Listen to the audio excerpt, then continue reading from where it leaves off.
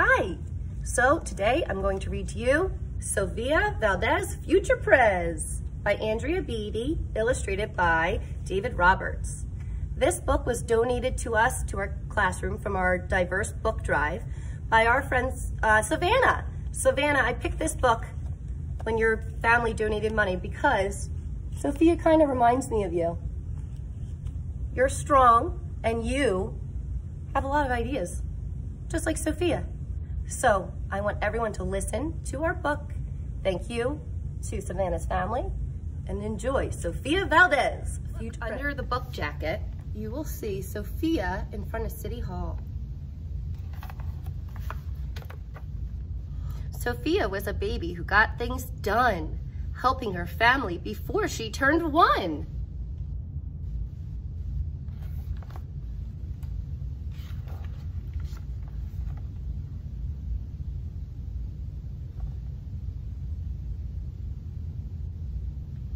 She and Abuelo went out every week to help elderly friends around Blue River Creek who couldn't get out and about on their own and with no place to gather were stuck home alone. It was very kind of them. Abuelo, that's her grandfather. There she is. And there are the people that she's helping. They are helping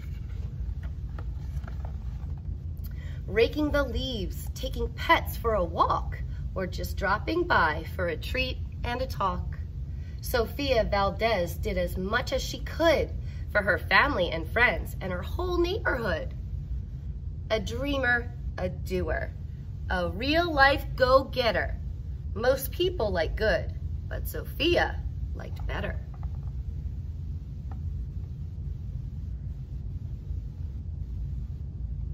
Look at all the dogs.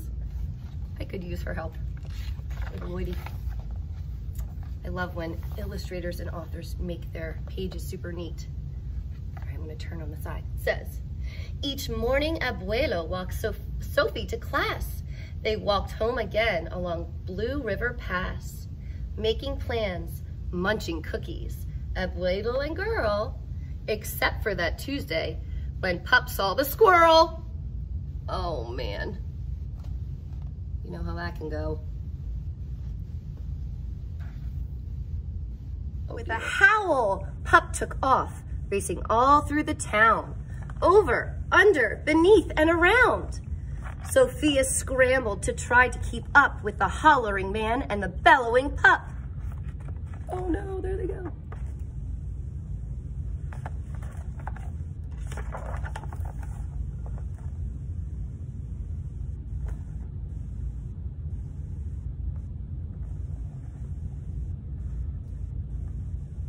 Up the, squirrel, the, up the squirrel ran to the top of a hill made of leftover junk for the local landfill. They reached the tip top of that mountain of trash, which jiggled and broke with an ear-splitting crash. Oh, yuck. What a mess. That doesn't seem very safe or clean. Hmm. Down they all tumbled and hit with a thud on a moldy old pumpkin surrounded by mud. Gross. Ouch, cried Abuelo. He struggled to stand. A dangerous mess, he said, grasping her hand.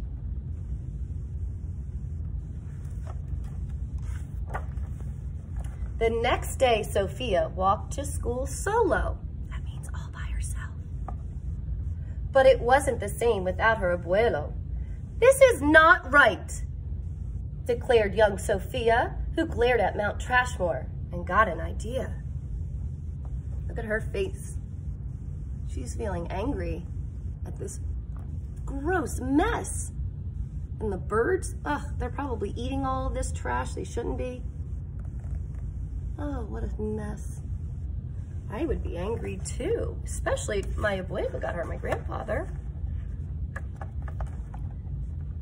The very next morning at half past dawn, she planted a sign at the front of her of the lawn.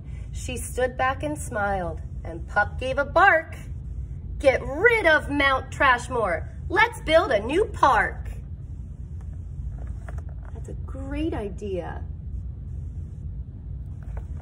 She's standing up for what she believes in. She's making a change, or she wants to make a change. Uh-oh, not everybody likes change. Let's see what happens. Check out this picture. Each of her neighbors had something to say about benches and fountains and places to play, meeting spots, gardens, a basket for bees, a rubber duck pond, and a kiosk for cheese. She drew every thought on her map of the park, which was perfectly perfect by a quarter till dark. That took her a while to make. So many people have so many ideas. This is a great page. Look at her face. How does she feel? She looks nervous to me. Hmm. Hey, we know her. She drifted to sleep in her soft, cozy bed. Then bam, she woke up with a thought when a thought smacked her head. Her heart skipped a beat as she realized each one of her neighbors had said, let me know when it's done. They all thought Sofia could build it alone. But how could one girl do so much on her own? The weight of that thought made her tender heart ache as night thunder growled and she lay wide, awake. Then dawn brought a storm and a gloomy sky wept and the heartsick Sofia finally slept.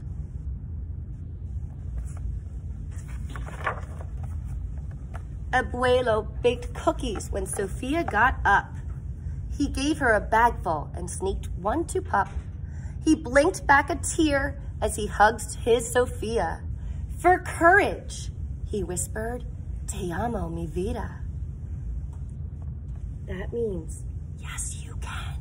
Yes, you can. Sofia's knees wobbled. She felt weak inside. She looked at his ankle and quite nearly cried. She thought she didn't feel brave or courageous at all. Sofia Valdez went to face City Hall. Remember City Hall, where all the big decisions are made. It's under the book jacket. Library, City Hall. There she goes. She's being very brave.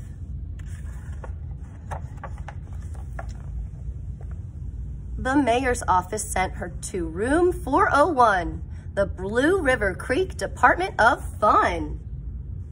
It does look like fun. Which sent her downstairs to room 302, the office of duck ponds and cool things to do.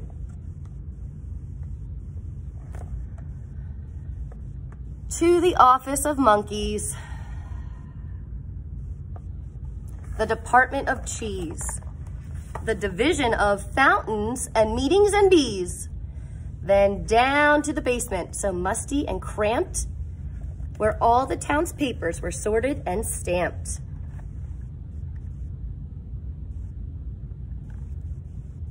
And that's where the clerk said what no one else did. You can't build a new park. You're only a kid.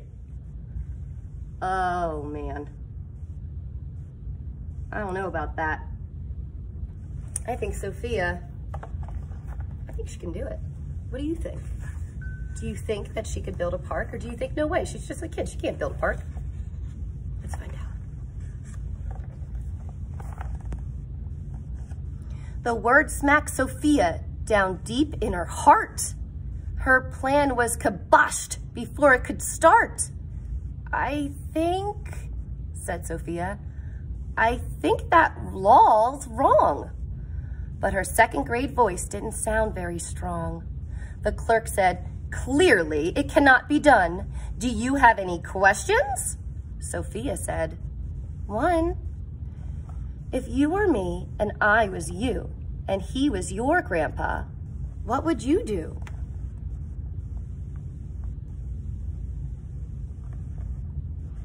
Well, I, said the clerk. Then she said nothing at all. She thought and she thought. Then she sent out a call to every employee throughout City Hall. Someone picks up their phone and they're calling every person that works in City Hall. That's a big deal. That means something's gonna happen. Hey, we know them. They were all in City Hall. Jeez, I remember him. Oh, the entire government of Blue River Creek crammed into the office to hear Sofia speak. But her words jumbled up and her cheeks turned bright red as a dozen emotions rushed into her head. Her heart beat so loudly she thought it would crack. The crowd leaned in closer. Sofia leaned back. And that was the moment when Sofia first knew being brave means doing the thing you must do. Though your heart cracks with fear, though you're just in grade two.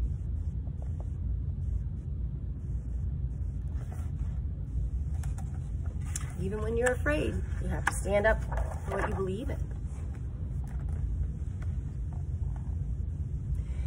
She took a deep breath, looked the mayor in the eye, and thought her knees, and though her knees wobbled, she held her head high. Sofia started talking. She spelled out her plan and why it all mattered and how it began. And once she got rolling, she had lots to say about meeting spots, monkeys, and places to play. And other ideas for things they could do to help the town elders and other folks too, the older people. She had thoughts on the library, thoughts on the zoo, and perhaps a way to combine the two and here it says basket for bees. I love bees. Rubber ducks, rubber duck pond, a library for monkeys. That sounds fun. I love cheese fountain, maybe a fountain of cheese. I would love that. Monkeys love books. I love cheese, cheese kiosk, a kiosk for cheese. It's where you can buy cheese. Cheese for everyone. Zoo Library. Loan a llama. Pick me. That'd be cool. You could borrow a llama. All right, cried the mayor. Go start a petition. If the town wants a new park, we'll form a commission. Let's build a park. A park for everyone. Sign our petition, please. Bark for parks. And so young Sofia got right to work with some help from her family and Pop and the clerk. There's Abuelo, our dog, Pup, the clerk, Sofia. Whoa. Then others joined in, not all, but a few, like Miss Lila Greer and the kids in grade two. Scientists need parks.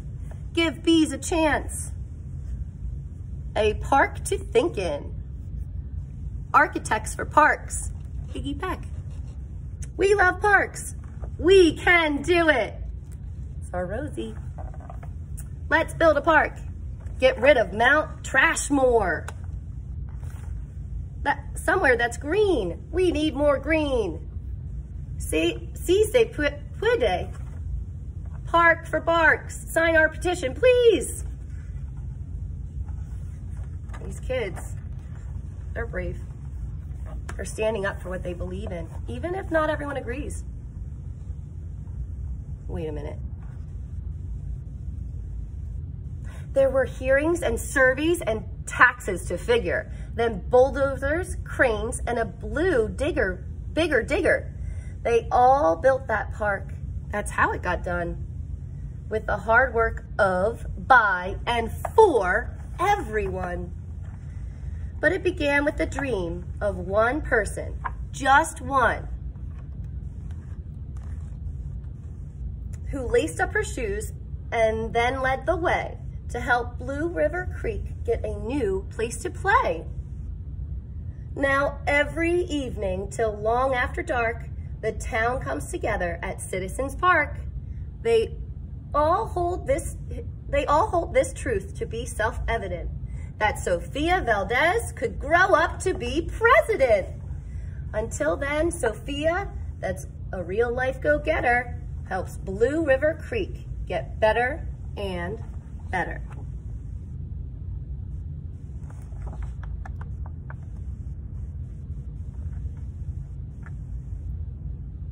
Hey, it's part of the president's job. Make sure that our country gets better and better.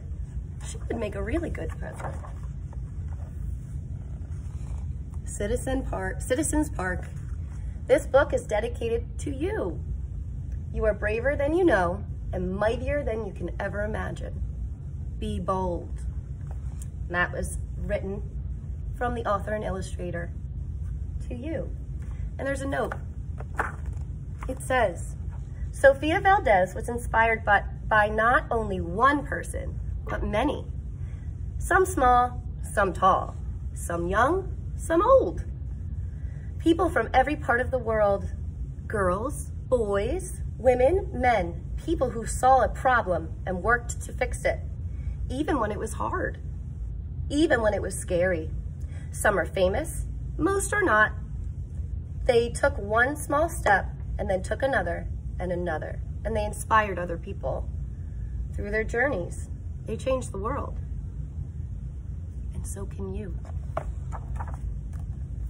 Give it a round of applause for Sofia Valdez, future prez.